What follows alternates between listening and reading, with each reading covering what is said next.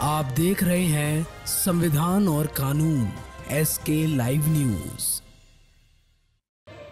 जबलपुर में शहीद स्मारक सभागार में अखिल भारतीय स्तर पर साहित्यकारों का सम्मान समारोह आयोजित किया गया।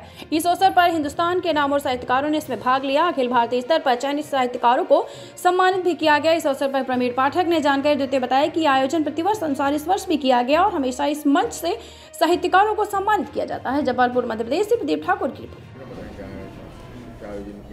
अखिल भारतीय संस्था कादम्बरी का आज का ये आयोजन अखिल भारतीय साहित्यकार, पत्रकार सम्मान समारोह का है और इसमें देश के विविध अंचलों से लब्ध प्रतिष्ठित साहित्य साधक संस्कार धनी जबलपुर में उपस्थित हुए हैं।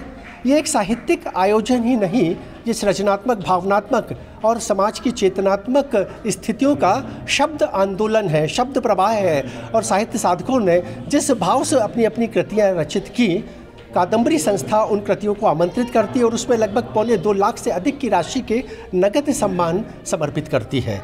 कादम्बरी का ये आयोजन आज जो संस्कार धानी में संयोजित है, इसमें देश के विविध अंचलों के साहित्यकार उपस्थित हुए हैं। ऐसे साहित्यकार जिनके सृजन से समाज को नित नई सापेक्ष दिशा मिल रही है। उनकी उपस्थिति से आज संस्कार धानी गौरवान्वित है और साहित्यिक इस महाकुंभ में उपस्थित समस्त साहित्य प्रेमियों का कादम्बरी परिवार से हार्दिक अभिनंदन है। आज के इस अवसर पर तीन कृतियों का विमोचन है। स्मारिका कादम्बरी, आदरणीय आचार्य भगवत दुबे की कृति बुंदेली में प्राण बसत है एवं लोकमंजरी और इसके बाद वंदना सोनी की कृति, विडंबना का भी इसी मंच से लोकार्पण है।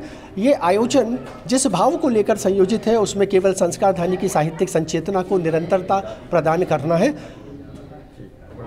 राजेश पाठक प्रवीण। खबरों के लेटेस्ट अपडेट के लिए इसी तरह हमारे साथ जुड़े रहें और इस वीडियो को ज़्यादा से ज़्यादा शेयर करें।